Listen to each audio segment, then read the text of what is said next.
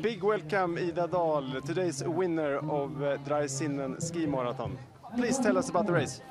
Uh, yeah, it started quite easy. So uh, uh, yeah, uh, it was like first after the sprint that we tried to go a bit harder. So uh, up to the climb, it felt quite good. But then uh, from the climb and down, I started to feel a bit shaky in my muscles. But yeah, just try to hold a high and stable pace all the way down. So it, it, was nice to feel that it could last the whole way into the finish.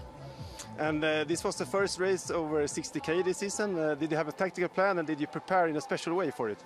Uh, yeah, it's more important to with all the energy and to really be like, yeah, to take the energy in time. So uh, uh, that was my main focus, and uh, maybe not go too hard too too soon. So. I mean, it, it feels quite much in the body after like 40k, so uh, yeah, but I think uh, it was a winning tactics today, so I'm satisfied.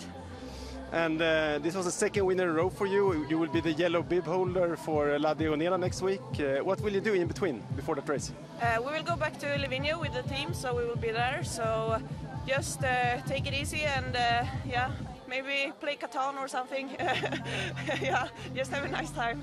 Sounds like a great plan. So yeah. good luck with that and see you next week. yeah, thank you. Thank you. Gratulerar. Ja, tack.